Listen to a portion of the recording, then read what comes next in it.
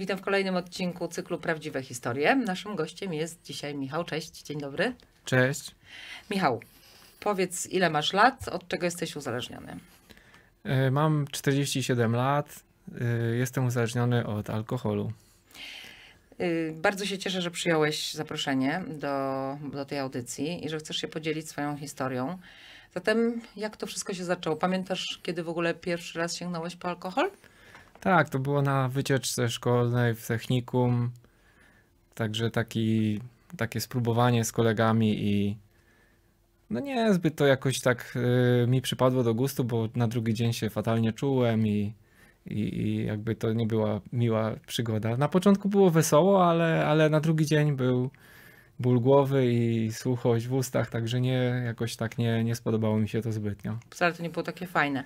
Tak. A jak y, było w twoim domu rodzinnym? Alkohol się pojawiał sporadycznie, pojawiał się często? No mój tata jest aktywnym alkoholikiem. Obecnie akurat teraz z racji wieku nie pije, ale tęskni i bardzo chciałby pić, tylko już nie może po prostu. Ma 75 lat i choruje, także że od, alkohol był w moim domu odkąd pamiętam. Mhm. Czyli to nie jest tak, że jest takim świadomym abstynentem i że chce, tylko po prostu może. go zmusiła. Tak, nie może. i chciałby wyzdrowieć po to, żeby dalej móc się napić. Okej, a jak to się u ciebie wszystko rozbujało, twoje No. uzależnienie?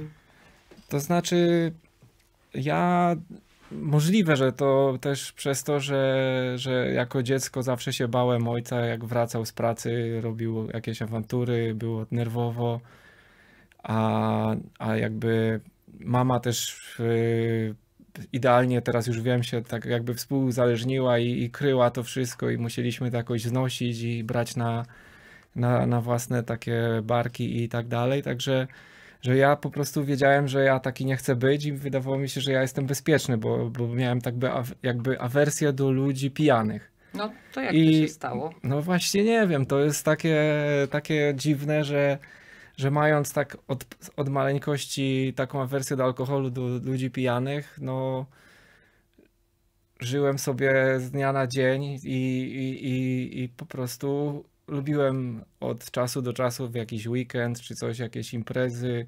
Właśnie tak jak w tej, na tej wycieczce, no tylko towarzysko i tylko tak od spotkania do spotkania, od jakichś urodzin do urodzin i, i tak się to pomalutku rozkręcało.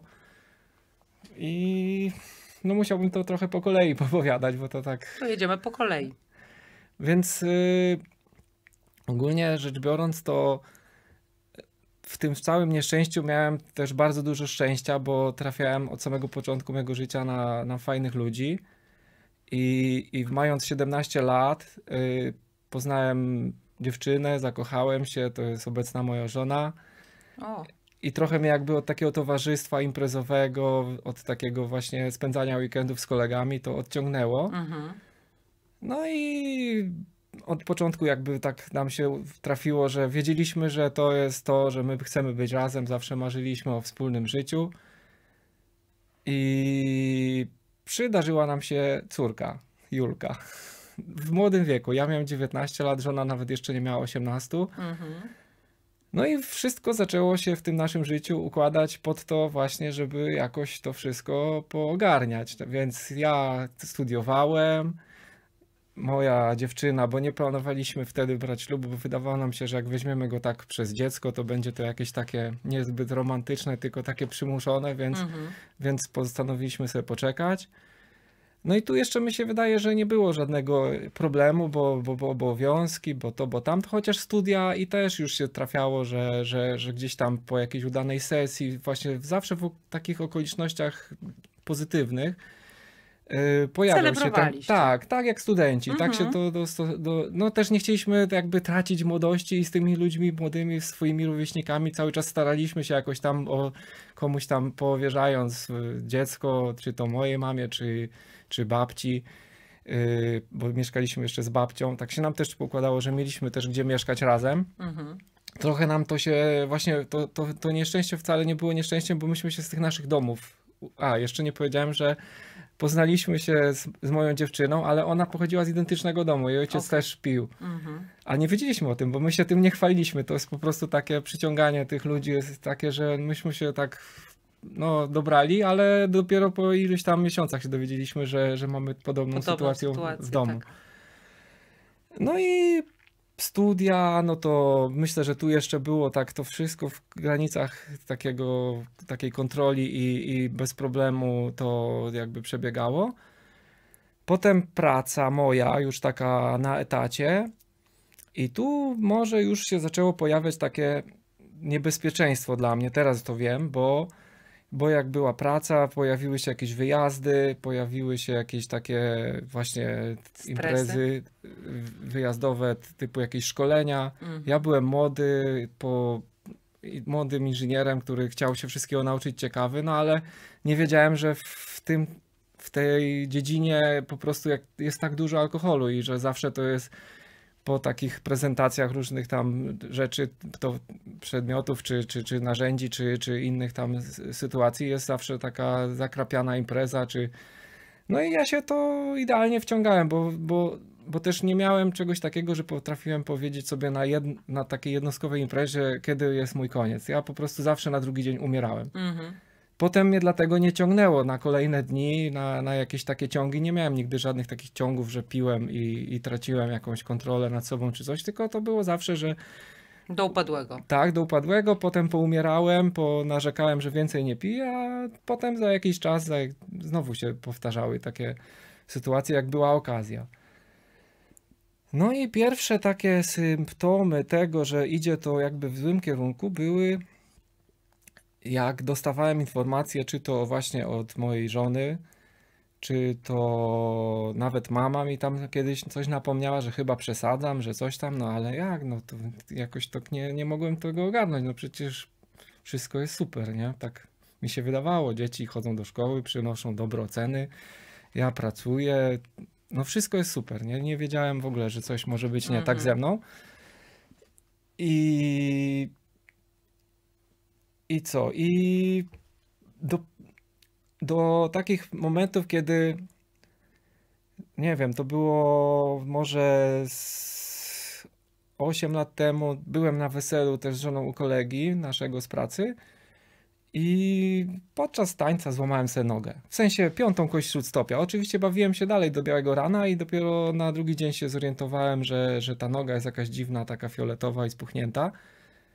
No to tam się w szpitalu ze mnie śmiali, że tancerz ze mnie kiepski, więc też to tak przyjąłem, że, że No to nie, się, no, no. tak, no, No po prostu wesele. nie umiem tańczyć, No byłem tak. tym śmiesznym tancerzem, co sobie złamał piątą kość śródstopia i to było takie pierwsze ostrzeżenie, którego jakby nie, nie zrozumiałem i potem były moje 40 urodziny i, i w sumie odwiedził mnie mój tato, z którym nie bardzo jakoś tak nie, nie, nie, tego, nie, nie, nie utrzymywałem jakichś tych kontaktów towarzyskich, ale odwiedził mnie z jakimś tam prezentem. Mama to tak jakoś zainicjowała, że przyjechali do nas z prezentem, no to przywiózł jakiś alkohol, to, no to wypiliśmy ten alkohol i chciałem ich odprowadzić na autobus czy coś i mamy haskiego psa ogólnie, tak już od, od yy, 10 lat. I ten pies też trochę się przyczynił do mojego niepicia, bo O, tak. Pies, jak zostawałem sam w domu i, i, i to już były też takie symptomy, których ja wtedy też nie. No, wieczorem sobie na przykład otworzyłem piwo, czy zrobiłem sobie jakiegoś drinka. Zazwyczaj jak byłem sam w domu, jak gdzieś żony nie było, czy, czy tego, i pies po prostu dawał mi znać w ten sposób, że na przykład no, strasznie mi psikusy robiła, coś mi tam zniszczyła, nawet lampkę elektryczną pogryzła i. Właśnie potem, jak to żonie opowiadałem, to żona się cieszyła. I właśnie nie mogłem powiedzieć, dlaczego ona się cieszy. Przecież pies nam zniszczył. A ona mówi, no bo byłeś na pewno pijany czy coś, to pies Mhm. też oddał, poka- pokazał ci, że nie chce, żebyś tak, żebyś był w takim stanie. No ja mi się wydawało, że to niemożliwe, ale no zwierzęta to bardzo wyczuwają. tak, tak. A w tym dniu, w te moje 40 urodziny, yy, rodzice wyszli tak, nie wiem, z minutę wcześniej, ja tam wiązałem buty, ja się czułem w dobrej formie, nie, nie czułem się jakiś pijany czy coś. No i wybiegliśmy, prze, żeby za rodzicami zdążyć i, i, i kurczę, no nie wiem, ja zwaliłem na sarze, pies mnie pociągnął i uderzyłem w słupek ogrodzenia mojego i, i tutaj policzkiem uderzyłem prosto w taki metalowy słupek, gdzie po prostu aż mi, no prawie, że straciłem przytomność. Mhm. I właśnie wtedy młody mój syn, y, nie wiem ile miał wtedy, z czty- 14, 13 lat, mnie podniósł. Wystraszył się też, że coś mi się stało. Tam zawieźli mnie na pogotowie, zszyli mi ten policzek. No i to był taki pierwszy, pierwsze uderzenie w głowę, kiedy coś już każdy, nawet i żona i, i dzieciaki, że no chyba przesadzam z tym piciem, no skoro, no ale ja mówię, no jak, no przecież Haski mnie pociągnął, to nie moja wina, to przecież ja Mhm. byłem prawie, że no wypiliśmy z tatą nie, no jak na moje możliwości to niedużo, bo te możliwości moje się co, co, co, tak, co tak. roku coraz były to większe. Mhm. No ale dalej jakoś tak już wtedy żona zaczęła ode mnie wymagać jakiejś takiej deklaracji, że albo ona, albo picie. No to oczywiście wybierałem moją miłość, że ja po prostu, czyli żonę, Mhm. że, że, że, że rezygnuję z tego picia, bo przecież nie mam problemu, to ja nie muszę pić. No i, no i tak to się objawiało, że jak nie piłem 2-3 tygodnie i wiedziałem, że nie chcę pić, no to się robiłem jakiś taki dziwnie nerwowy, przypieprzałem się do wszystkiego. No nie było to takie normalne i to życie ze mną nie wyglądało fajnie, tylko, tylko było to jakby utrudnione dla wszystkich. Ja tego jakby... po prostu na głodzie. Tak, tak, tak. I, I ten wpływ na moją psychikę był ogromny. Na przykład po latach się też dowiedziałem od y, pracowników, że oni wiedzieli, że ja na przykład. Y, bo też, też na pewno się do tego przyczyniło mojego uzależnienia to, że u nas w pracy jest od dawien dawna, jeszcze zanim ja przyszedłem tam pracować, taki zwyczaj, że ktoś ma imieniny, to tak po jednym rano się wypija. Ja się też dopiero na terapii dowiedziałem, że taki jeden z rana, jeśli to był na przykład poniedziałek, a ja byłem po weekendzie jakimś takim imprezowym, to że to bardzo jest niebezpieczne, nawet taki jeden kieliszek. Mhm. Ale za to moi pracownicy byli w stanie poznać, że ja jestem po takim jednym, gdzie mi się wydawało, że to jest niemożliwe, ale ja miałem fantastyczny humor. A tak to byłem zły, jakiś taki nerwowy, jakiś taki wybuchowy. I tutaj po prostu wszyscy wiedzieli, tylko nie ja. Aha. Czyli jeden kieliszek czynił cię po prostu od razu innym człowiekiem. Tak, tak, tak, Mhm. tak to było. I, i, i takim e, ostatnim ostrzeżeniem e, i takim już naprawdę niebezpiecznym, bo tak do tej pory to mi się wydawało, że, że, że, że to jest taki jakiś no, pech, to był, był taki przypadek, kiedy wiedziałem, że na Sylwestra nigdzie nie idziemy. To był koniec 2018 roku. Nie wiem, czy to miało znaczenie, ale też byłem wtedy na pogrzebie mojego takiego kolegi z pracy, yy, który po tam ciężkiej chorobie zmarł tam parę dni wcześniej, no i byliśmy na tym pogrzebie. Może to miało jakiś wpływ, ale to nie, nie sądzę. I ja sobie tak coś wymyśliłem, że żona miała tam jakieś leki do, ważne do wybrania, że coś tam. Ja wiedziałem, że wtedy w Rzeszowie na rynku będzie jakiś koncert. Ja to pojechanie do tej apteki odkładałem sobie jakoś tak na później, tak kombinowałem, że ja sobie tam pojadę autobusem do tej apteki. No i jak byłem, już udało mi się wyrwać do tej apteki, no to sobie poszedłem na ten koncert, kupiłem sobie jakieś tam alkohol, rozmieszałem sobie to z jakimś sokiem, żeby tam wyglądało to tak niepozornie. No i na tym koncercie chwilę byłem, tam no chwilę, mi tak się wydawało, że chwilę. Oczywiście byłem w tej aptece, wybrałem te leki, bardzo ważne dla mojej żony, no i tam robiłem jakieś zdjęcia, że o, jestem przypadkowo na koncercie, wysyłałem żonie zdjęcia, że jeszcze tam się trochę przeciągnie, popatrzę sobie jak tutaj gra Landberry i coś tam, także Także bawiłem się tam super, wypijałem te, te swoje soczki z, tym, z tymi Te dwusetkami. swoje miksy Tak, swoje miksy. magiczne. No i miałem odłożoną jeszcze jakąś tam gotóweczkę, żeby wrócić taksówką. Szedłem na tą taksówkę. No i jak, jak to w takim, na moje szczęście w sumie, ktoś wyszedł z jakiegoś klubu i mówi, że ma wejściówkę na super Sylwestra, ale jemu coś wypadło i że za pięć dych mi odda, mogę sobie wejść, tam jest wszystko all inclusive. No to dobra, to wszedłem. O matko. No i tam bar, open, no to jeszcze tam nie wiem ile tam byłem. W każdym razie coś tam już po prostu przesadziłem z tym alkoholem i w tym klubie nocnym i tak dalej. I gdzieś się przewróciłem, a to były piwnice takie, gdzieś uderzyłem głową Mhm. i się obudziłem na sorze już dużo, dużo później. Telefon mi w międzyczasie padł, nikt w domu nie wiedział, co się ze mną dzieje, mróz był i tyle. Żona nie? leków nie dostała. Żona tych leków nie przywiozłem, mąż się nie odzywa, telefon wyłączony i Mhm. nikt nic nie wie. No i po prostu, a ja, a ja sobie śpię na sorze, na łóżku z jakimiś kroplówkami, z jakimś tam opatrunkiem Mhm. na głowie. No i co? I tutaj właśnie się zaczęła moja historia taka prawdziwa, że jak zobaczyłem tą żonę taką bardzo, bardzo zawiedzioną, smutną, wręcz chyba nawet zapłakaną, a ja jeszcze z takim rauszu. No tak mi było strasznie głupio, że ja po prostu wtedy, nie wiem, tak, tak te, tego, nawet nie chcę z tego jakoś, jak ja to sobie przypominam, to Nie lubisz nie tego lubię pamiętać. tego pamiętać, Mhm. tego momentu, jak ja siebie wtedy nienawidziłem, co ja zrobiłem i, i jakby to wszystko zrozumiałem, to czego do tej pory nie rozumiałem, jak to na wszystkich działa. No, wróciliśmy do domu, no to ja się tam jeszcze położyłem, musiałem sobie to odespać. Nikomu już tam nic nie mówiłem, nic nie obiecywałem, ale ja już widziałem po mojej żonie, że to już jest koniec. Po prostu jeszcze parę lat wcześniej tak to jakoś wyszło w naszym życiu, że ona zaczęła pracować w Warszawie i tak w Rzeszowie bywała. Yy, raczej mniej jak więcej. Ja tam Mhm. często jeździłem do Warszawy, ona tam sobie pracowała w Warszawie. I, I mi to pasowało w sumie, jej też, bo nie musiała na mnie patrzeć. Ty miałeś komfort bicia Tak, większy. ona, Mhm. ona się spełniała zawodowo i no i ja stwierdziłem, że, że nie mam pojęcia co zrobić, ale idę na terapię. Tak tego. Miałem w pracy jakiegoś takiego uzależnionego też pracownika i tam Mhm. się, mniej więcej się go spytałem, jak to, czego on mi tam powiedział na jakiejś tam ulicy. Ale trafiłem w ogóle w inne miejsce niż on mi powiedział, bo on mi powiedział, ja po prostu tak po swojemu pojechałem, zobaczyłem tabliczkę, o jest tutaj, wszedłem, zarejestrowałem się do byle kogo, kto pierwszy, ten lepszy. No i poszedłem. No i jak wy, wypadł mój termin, no to na konsultacji poopowiadałem o sobie. No i tak pomyślałem, znaczy szedłem tam, żeby przestać pić, ale jakoś tak dowiedziałem się tam od terapeuty mojego, że jestem uzależniony stuprocentowo, że Mhm. muszę podjąć terapię i czy chcę, czy nie chcę, no to chcę. No ale chodziłem na tą terapię i wszystko to przyjmowałem, bardzo mnie to ciekawiło, wciągnąłem się w to, w te początkowe takie fazy, no mega.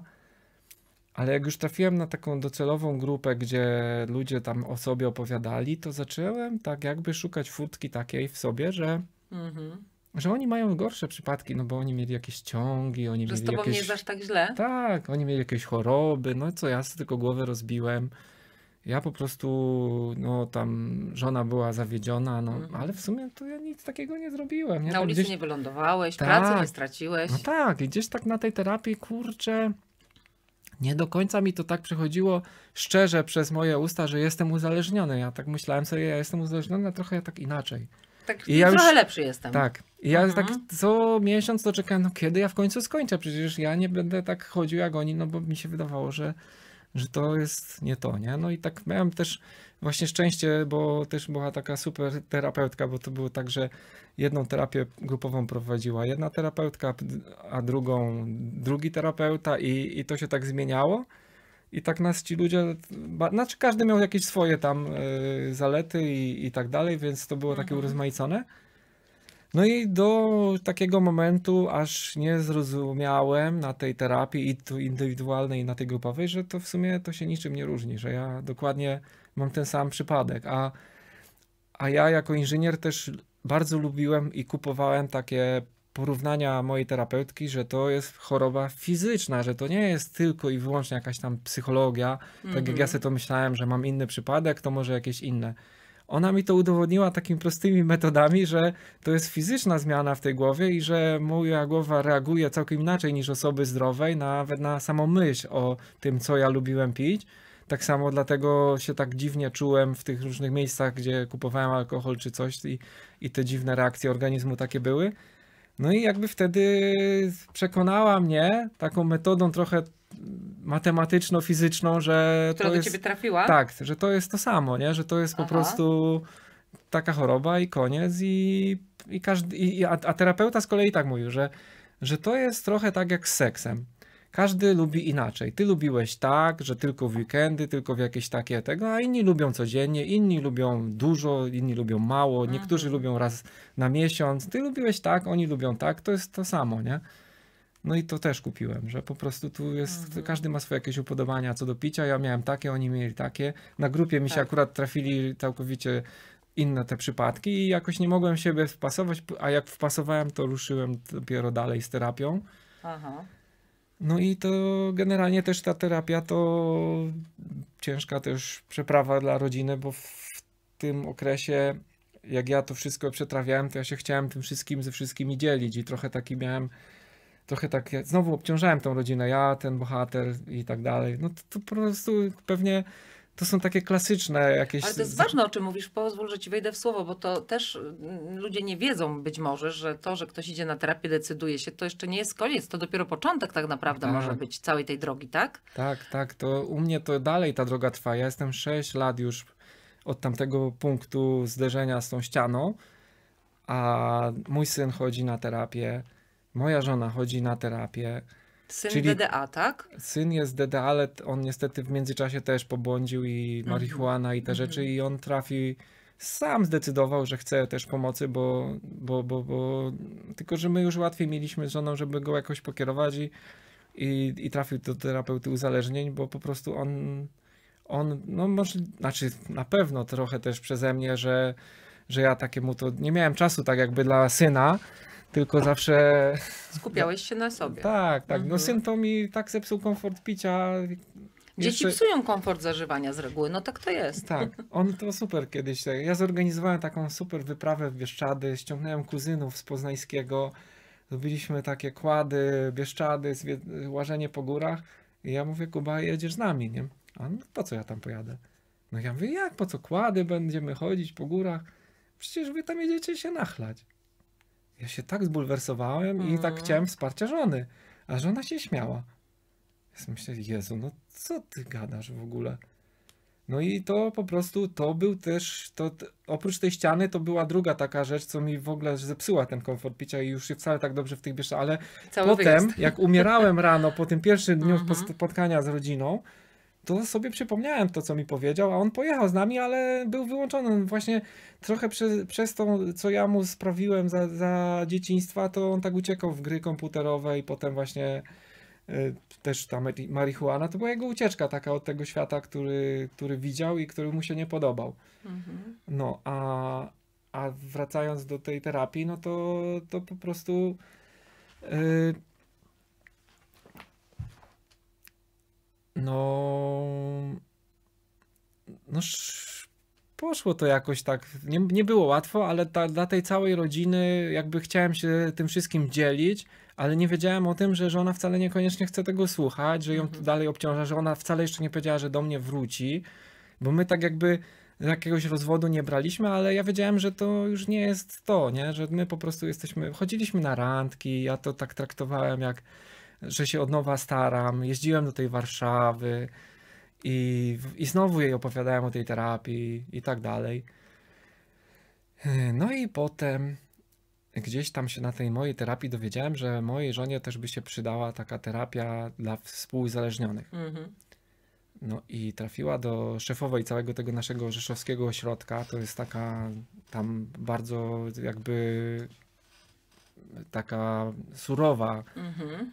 osoba, która nas uzależnionych czy, czy, czy, czy tak bardzo ostro i, i krótko traktuje. No i ona to bardzo szybko jej to wszystko wyprowadziła. No ogólnie to ją pochwaliła, że nie przez te wszystkie lata, które ja próbowałem ją współuzależnić, to ona jest jedną z nielicznych, która się nie dała współuzależnić. Ona nigdy mi A właśnie Nie możesz przyniosła. wytłumaczyć, co to znaczy, że nie dała się No współuzależnić? nigdy mi że nie cię nie pomogła. kryła, tak? Tak, nie, nie przyniosła mi, jak nie wiem, wymiotowałem, to potrzebowałem tej pomocy, bo ja wtedy byłem taki biedny, chory. Mhm. Ona tego nie kupowała. Ona Mhm. po prostu tak sobie zrobiłeś, to tak masz. I jak się położyłem w tej toalecie, to tak się obudziłem i nikt mi nic nie podał, ani herbaty, ani nic. Mama moja za to ją o, opieprzała, że jak to przecież powinna. Ona Zadbać się, o ciebie. Tak, ona się nie dała. Nigdy. Mhm. Zawsze, zawsze to po prostu. Ale swoje odcierpiała, no bo to, że się nie dała współzależnić, to swoje odcierpiała.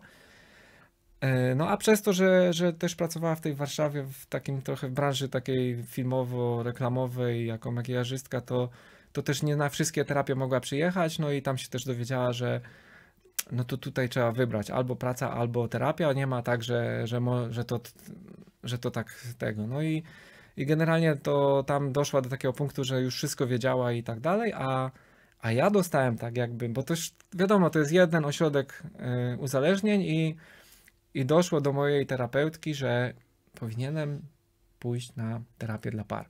Mhm. Ale to właśnie wyszło jakby z tej terapii, tak myślę, że tak z tej terapii dla mojej żony współuzależnionych i że dla mnie dobre by było, jakbym jakoś to zrobił tak, żebyśmy poszli na terapię dla par. No ja tego też nie kupowałem, bo mi się wydawało, nawet jako już nie pijący, no to przecież ja jestem super, kurczę, partnerem i, i że ja umiem wszystko... Jeszcze trzeźwiejesz. No Tak, kurczę. bohater taki i gdzie na terapię dla par, no i tak umawiałem nas w Rzeszowie, no ale to było z góry skazane na porażkę, no bo wiadomo było, że nie wiadomo kiedy ona tam będzie mogła, kiedy nie mogła, więc parę razy żeśmy nie poszli i to tylko była taka, taka wtopa. No ale potem stwierdziłem, że to ja się chyba muszę dostosować i znaleźliśmy, znaczy powiedziałem żonie, żeby tam kogoś w Warszawie znalazła, Mhm. no ona tam popytała znajomych. No i znaleźliśmy w Warszawie taką super panią, fa- fajną Ilonę i pojechaliśmy do niej. Każdy najpierw z godzinkę z nas osobna. Ja oczywiście ten bohater, bo ja po już prawie półtora roku chodziłem na terapię, to tam mi się wydawało, że ja tam Mhm. no i po pierwszej wspólnej, takiej, gdzie we, we dwoje siedzieliśmy, no to ja prawie z płaczem wyszedłem, jak się dowiedziałem, jakim ja jestem lesie, gdzie ja jestem, co ja, że ja nic nie wiem. Mi się wszystko wydawało, że, że robię dobrze, a ja tym partnerem dalej jestem beznadziejnym i wszystko w ogóle ja żyć nie, nie potrafię. No i rok czasu jeździłem do Warszawy, tydzień w tydzień, potem raz na dwa tygodnie, po 300 kilometrów w jedną stronę, żeby, żeby ratować to wszystko, no i to pomogło. I po tej terapii jakby, no, poukładało nam się z powrotem, że jesteśmy razem, ale no mówię, no to jest, to, to, to, do tego musiałem jakoś tak stopniowo dojść i ja też nigdy nie miałem problemu, żeby zaufać komuś, kto wie lepiej. Ja tutaj się poddawałem i nie dyskutowałem, znaczy dyskutować to lubiłem właśnie z bliskimi, ale jak ktoś mi powiedział, że tak, Tak, jest, Ktoś, kto ma wiedzę, jest specjalistą, to Tak. jednak byłeś w stanie zaufać. Tak, tak. To Mhm. się wzięło, no może nawet i nawet uczelnia to też tak działa, nie? Że idzie się na jakieś wykłady i się tego słucha i albo się wierzy, albo się nie wierzy i, i to wtedy Tak. wchodzi. No i tutaj też po prostu terapia, zaufanie i, i działanie, a, a jak ktoś wie lepiej i idzie na tą, tak jak ja na początku na terapii wiedziałem lepiej, że ja jestem troszkę inny, to, to w ogóle mi jakby nic nie pomagało, nie? To Mhm. Trwało to dwa lata w sumie, cała ta terapia, a nigdy mi nikt podczas terapii nie chciał powiedzieć, ile to jeszcze potrwa, bo ja się praktycznie co tydzień pytałem, ile jeszcze? I, te, i Kiedy wiem, to się skończy? tak, no, no, Kiedy mnie wyleczycie? no tak, no, mój terapeuta zawsze śmiesznie się do tego odnosił, mówi, ile piłeś, tyle się będziesz leczył, ale ja mu nie chciałem uwierzyć, no niemożliwe przecież, ja długo piłem, przecież nie będę tyle lat tu chodził. Mhm. No a potem jak już, przy... znaczy końcówka była też troszkę porażka, bo przyszła pandemia i trochę nam to zaburzyło, trochę już było mniej tych grup i tak Mhm. dalej, grupa się nam posypała, ta pandemia wszystkie słabe ogniwa wykruszyła totalnie, bo tam chłopaki popłynęli, no nie wiem. To był ciężki czas dla osób uzależnionych, tak, bardzo. tak, nawet w terapii, bo to po prostu było tak, że mieli super wymówkę, żeby dalej nie chodzić. Tak.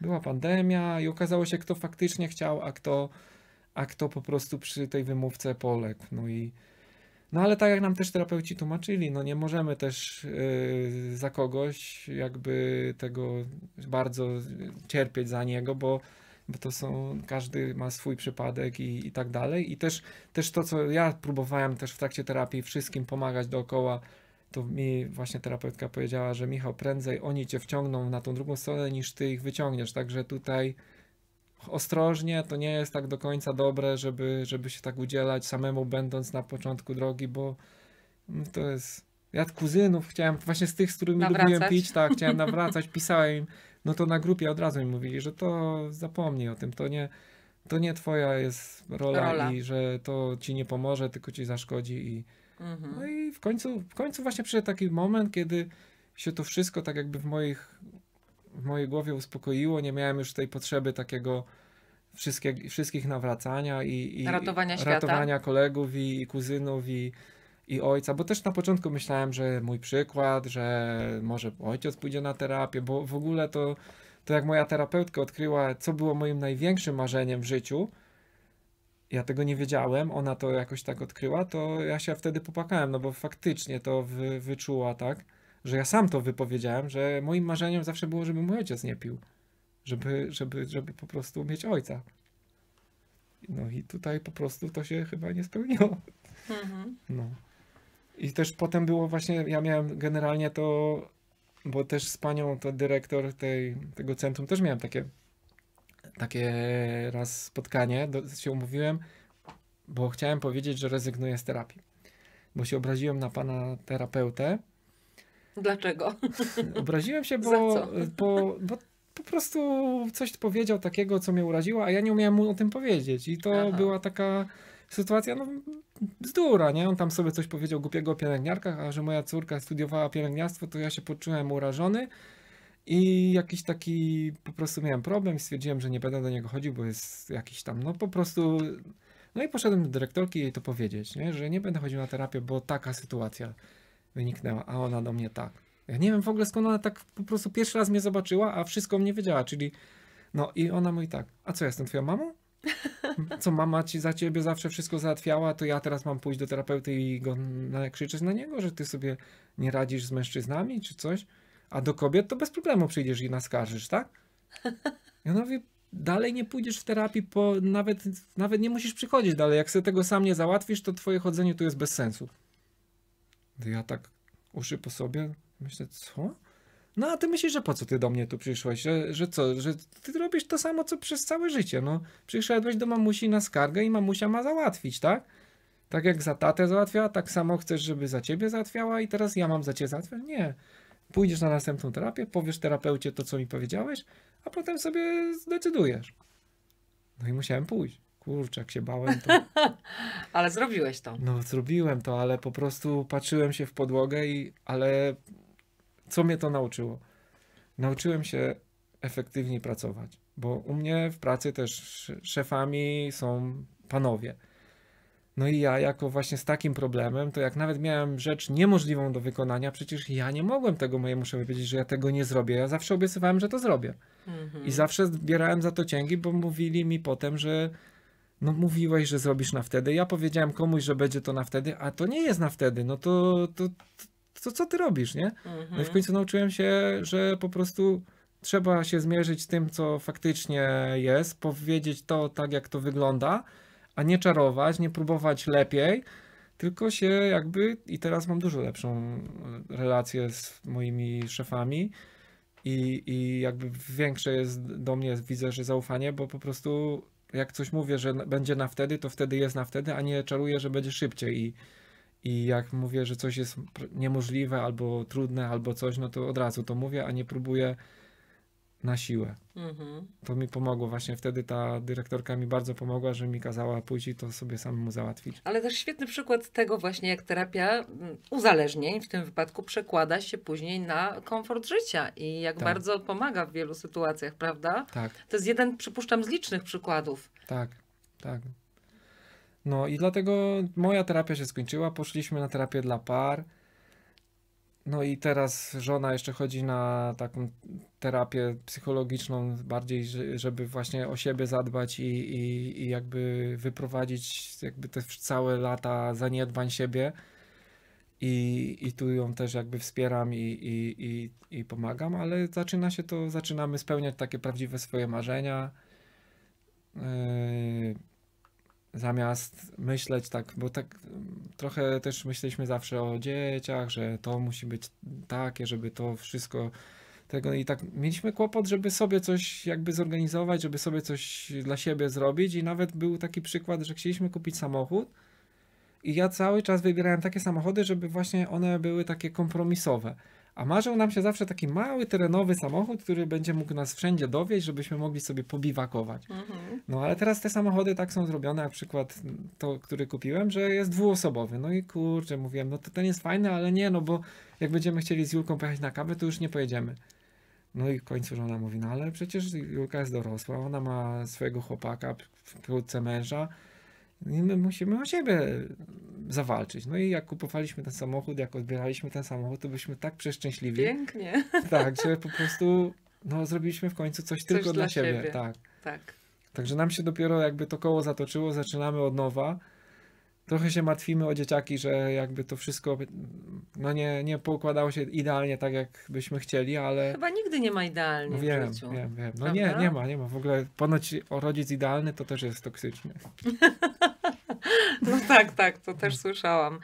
Jak tak słucham ciebie, to powiem ci, że kawał roboty i naprawdę dużo determinacji w tobie i no, niesamowicie imponujące to wszystko, co ty mówisz. Jedna terapia wydobyła to, że trzeba iść na drugą. Tak, tak. że, że w sumie syn też wylądował na terapii, że żona zaczęła. y, tak. Wiesz, każdy ma jakieś deficyty i tak naprawdę każdy z nas ma dużo do przepracowania, bez Tak. względu na to, czy jest uzależniony, czy nie. Tak jakbyśmy nie byli gotowi do życia dorosłego, że po prostu wychodzimy z naszych domów i, i idziemy do szkoły. W szkole nam mówią jedno, a w życiu się dzieje całkiem coś innego. I to, to na moim przykładzie ja po prostu nic nie wiedziałem. Także tu Piękna, piękna historia i piękna opowieść. Jeszcze chciałabym na, na koniec dopytać, jak teraz dbasz o swoją trzeźwość? Bo domyślam się, że no pewnie nie jest idealnie i zdarzają ci się słabsze dni, gorsze dni, znaczy, że myślisz, Boże, nie wiem, ulżyłbym sobie, czy, znaczy wiesz, czy jest ci źle i co wtedy robisz? Jak, no, ja mam te, to, co na terapii wypracowałem, czyli lubiłem sport. Jeszcze przed, e, przed terapią, przed, przed trzeźwieniem też, też lubiłem sport, ale właśnie na terapii też się dowiedziałem, że ten mój sport był troszeczkę przesadzony, bo na, na kompulsywny. tak, po prostu za bardzo chciałem, za, parcie było na wynik, nie kosztem zdrowia. Mhm. No w trakcie terapii też trochę nadrobiłem zaległości ze zdrowiem, bo tu miałem jakiegoś żylaka, którego już powinienem dawno wcześniej zoperować. Tu miałem jakiegoś nerwiaka w stopie, którego też miałem zoperować i też to jakoś tak tego. Także miałem w- po drodze jeszcze kilka takich dłuższych y, przerw na, na leczenie. A na terapii się dowiedziałem właśnie, że z tym sportem to też muszę uważać, że muszę to robić tak, żeby to mi dawało zdrowie, a nie, a nie ten wynik. No i pojechałem sobie na taki obóz, który poprawiał technikę biegania, bo się okazało, Mm. że ja miałem dużo kontuzji z tego biegania, a tylko dlatego, że po prostu nie umiałem biegać. I tam mnie właśnie trener nauczył, jak prawidłowo biegać. Potem jeszcze pojechałem na, na dwa obozy takie biegowe, gdzie też pod jego kontrolą tak się po prostu biega w jakichś fajnych miejscach, zwiedzając przy okazji. Mhm. Na tym jednym obozie to byłem też z żoną, żona sobie tylko normalnie zwiedzała, a ja sobie biegałem i zwiedzałem, E, więc tu jakoś trochę razem to pogodziliśmy. No i jak to jest już taka tylko i wyłącznie przyjemność, ten sport, że biegam i właśnie mam narzędzia, żeby sobie krzywdy nie zrobić, że sport to nie do końca jest zdrowie, tylko jest to zdrowie, kiedy wie się jak to robić i I co się robi? tak, Tak. Także to, to jest ten mój jeden sposób. Drugi sposób to jest to, że, że właśnie uwielbiamy te biwaki. A przez to, że mamy to auto terenowe, to możemy sobie jechać w takie miejsca, gdzie nie ma zbyt dużo ludzi, gdzie po prostu nie natrafiamy na jakieś imprezowe miejsca, bo takie popularne miejsca, no to trochę tak. y, Ja już jakoś tak jakoś to znoszę dobrze, ale żona to ma dalej jakieś traumy. Jak słyszę gdzieś tam w okolicy y, jakąś imprezę czy coś, Mhm. ja normalnie śpię i tego, ona mówi, że spać nie mogła, bo była jakaś impreza, bo się darli, bo to, bo tamto i, Mhm.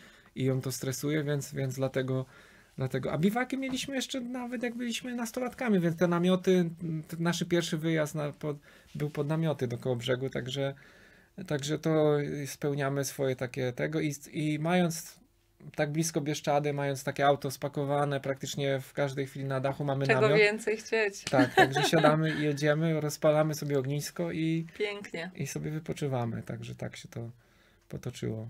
No pięknie się potoczyło twoje życie, Michał. Ja jestem pod ogromnym wrażeniem i słucham tego z zapartym tchem i mam nadzieję, że myślę, że jestem pewna, że nie tylko ja, każdy, kto tego, kto tego słucha i posłucha twojej opowieści. I bardzo się cieszę, że, że zdecydowałeś się pokonać taki dystans, przyjechać do radia i opowiedzieć tą swoją historię piękną.